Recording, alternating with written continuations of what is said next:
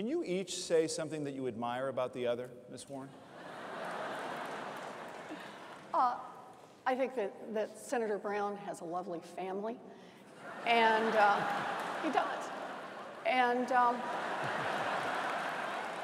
and I agree with him when he ultimately voted for, uh, voted uh, to get rid of Don't Ask, Don't Tell. I think he was right on that, and I agree with him very much. Senator Brown? Uh, certainly, uh, she's a very uh, hardworking, accomplished uh, professor, and she's certainly very qualified.